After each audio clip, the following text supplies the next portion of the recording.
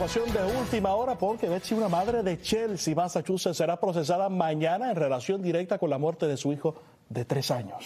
Esta mujer está siendo investigada por este caso y por eso David de Mateis se une en vivo desde el lugar donde ocurrió la tragedia. Sabemos, David, que pudiste hablar con alguien en exclusiva. Hablamos de un vecino y conocido tanto de la mujer como del bebé. ¿Qué te dijo esa persona?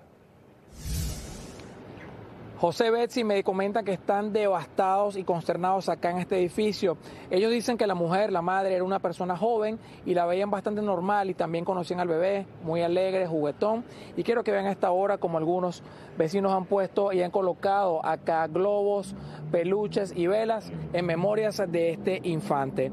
Jennifer Prudencio, de 25 años de Chelsea, fue arrestada hoy en relación con la muerte de su hijo de tres años el fin de semana y se espera que sea procesada mañana en el Tribunal de Distrito de Chelsea.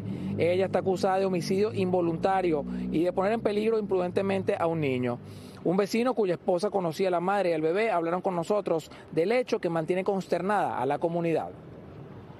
Una muchacha como cualquiera, cuidaba a sus hijos, pero a lo mejor se descuidó en algún momento y pasó la desgracia. Da tristeza eh, que pasen cosas así en nuestra comunidad.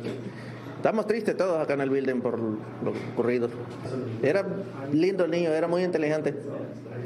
Eh, tranquilo el niño.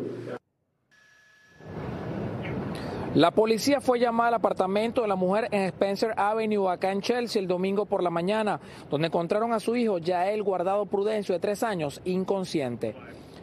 Se tiene previsto que mañana serán dados a conocer más detalles y cargos durante la presentación de esta mujer en corte. Esto es parte de la información que tenemos en vivo a esta hora en Chelsea. Yo soy David Mateis, Noticiero Telemundo, Nueva Inglaterra.